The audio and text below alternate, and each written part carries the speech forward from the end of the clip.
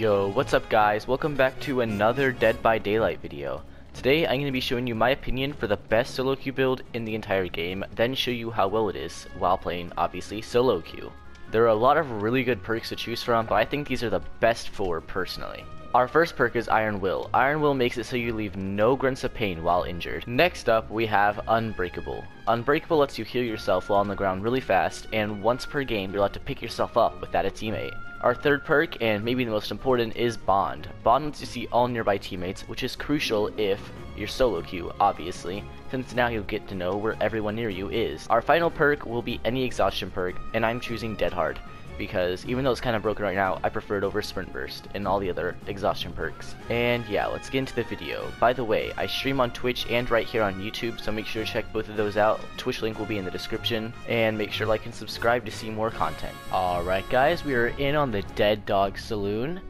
Personally, I'm pretty confused still about is this map killer sided or survivor-sighted? I constantly hear both. That's way too killer sided, needs a nerf. Way too survivor side, needs a nerf. It's a little odd. The killer probably spawned on that side. It's a nemesis. He did not notice me. Uh-oh. Since we're here anyway and we're not doing anything, I think I'm just gonna follow him for a flashlight save. And that zombie wants to go snipe me. Uh oh I probably can't make that in time. I was still running.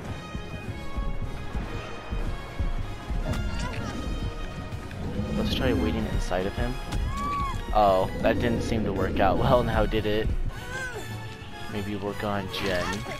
He has BT as well. Oh, he's on her.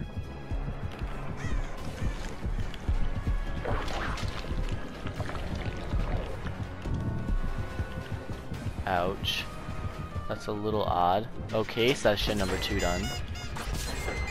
I can go over to this person to finally get healed finish this now. Okay, this lady's running to the other side of the map. Uh-oh.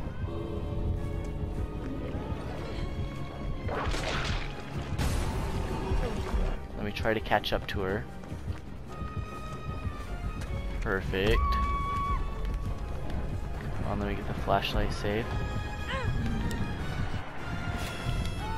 Okay, that didn't work. Oh, haha, let's go.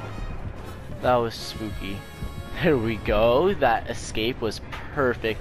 Ah, uh, I was so scared I was and sad that I messed up the flashlight save, but luckily I got that. Alright guys, we are in on the suffocation pit, probably the most survivor side, in my opinion at least, one of the most survivor side maps in the game. Bond is telling us we only have one teammate on this side, which is very odd. Normally the killer spawns on one side. I'm gonna go for this hex totem. Looks like it's Ruin. This will actually help out a lot unless it's Hex Undying. Uh-oh, it's a Legion. So it looks like the Nea's probably gonna get chased. But we want to work on Generator. Oh, yeah, Nea's down.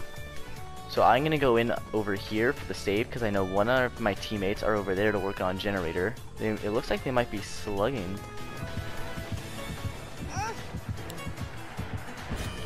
Okay, we got the flashlight save because they, for some reason, slugged. Let's do a generator in their face. They can try to get on us. Maybe they're going to get mad at us. I mean, we did get their ruin instantly. There we go. Okay. Unfortunately, that was not a fast fall like I thought it would be. There we go. Okay, she left us. Never mind. Okay, I thought that she was gonna go over here, so I was trying to stun her out. Of. Alright, that's good. Okay, yes, this generator right here in the corner is perfect. I'll try to get her on me now. Yep, I went right into the open, so she'll see me.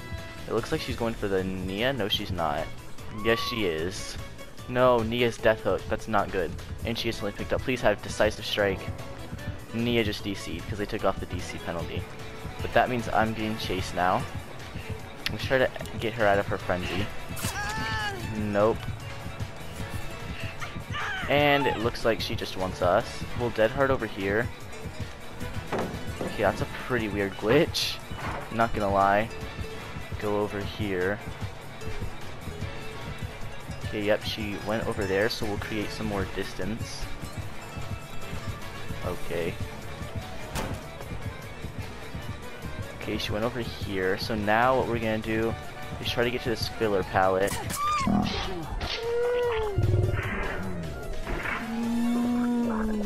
Okay, that should not have hit, but that is fine.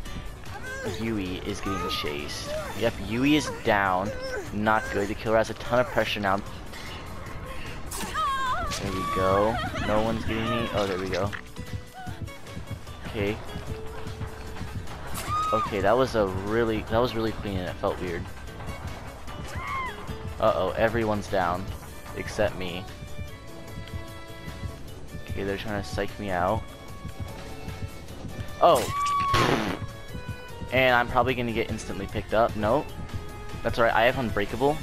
So if they go for me last in fear of Decisive Strike, then that's going to be really good. I have... She has Unbreakable too. What a gamer. That's alright. Don't pick me up. Don't pick me up. You run. You run. Run. Run, lady. And now I will Unbreakable myself up. There we go. I'll go in for the save now. This is why we use Unbreakable, guys. So now we're kind of back in the game. I think she saw us. Uh-oh. What I'm gonna do here is dead hard for the lunge. Here we go. She went that way. I'm pretty sure she's vaulting. Yep. I'll go to this TNL wall. She once again went that way. So I'll have time to vault this now. Okay, I get the blind. And now she'll go for me at Shack. Yep, she went that way like I assume. I'm gonna have to go and drop Shack pallet here if I can even make it. I confused her. Okay.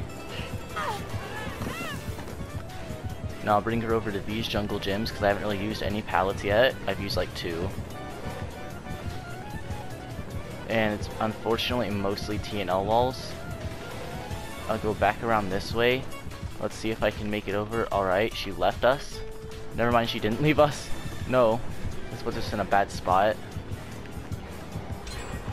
Because the TNL is over here and we're down. This generator over here is about halfway done, so they should be able to apply enough pressure in the end to win.